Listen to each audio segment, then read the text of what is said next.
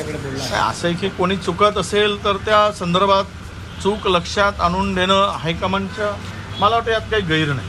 आमच्याही काही चुका होत असतील तर चौ त्या चुका आम्हाला कदाचित कळत नसतील.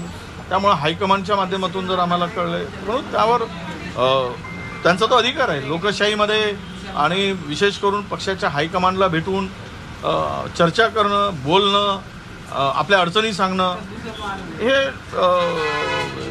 यातून त्या मनातील भावनांना एक रास्ता मिळतो रास रस्ता मिळतो किंवा त्याला एक वेळ मिळतो. त्यातून चांगल्या गोष्टी घडतात.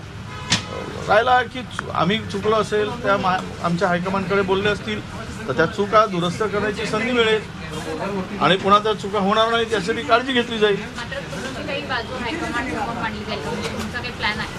नाही मला तरी वाटतं की हायकमांड ज्यावेळेस बोलवतील आदेश देतील बोलवून घेतील त्यावेळेस आम्हाला संधी देतील तर आम्ही ते पण बोलू की काय झालं आहे नेमकं पण मला माझ्या माहितीप्रमाणे मॅडमची भेट झाली माननीय सोनिया गांधीजींची.